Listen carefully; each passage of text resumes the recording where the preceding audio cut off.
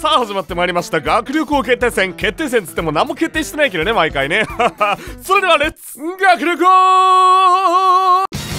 問題。ご飯を食べる時に抱っこしてるものは何?さあこの問題。なぞなぞに近い問題ですがわかるものはいるのか?ここでサタンが答える。便座カバー。え何お前便座カバー抱いて飯食ってんの？ここでジェルが答える。電気うなぎ。お前飯食う時電気うなぎ抱いてんの？はい。マジか。じゃあ今後お前とも飯食わねえわ。ここでモモが答える。これ食べる前はいただきますって言うから。おその通り。答えはドブネズミ。なんで？ここで遠いさあ決めてください。ご飯食べるときはいただきますって言うから答えはいた。正解です。モモはなぜドブネズミになったのか疑問ですね。さあ続いてマッチ問題マッチを2本動かして生き物を作りなさい。さあこの問題生き物をどう表現するかが鍵になってきます。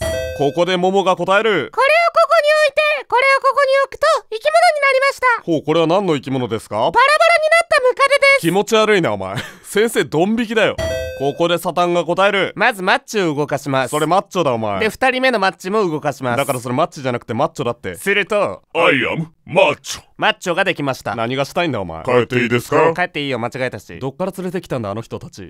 ここでユリが答える。これをここに置いてこれをここに置くとローマ字で犬になります。正解です。Wow it's great! おいマッチョ帰らせろ。動画見てくれてありがとうチャンネル登録よろしく。動画の他にも裏話を話す生放送をしてるのでぜひ来てくれよな。詳しくは Twitter をチェック。今たる始まりの音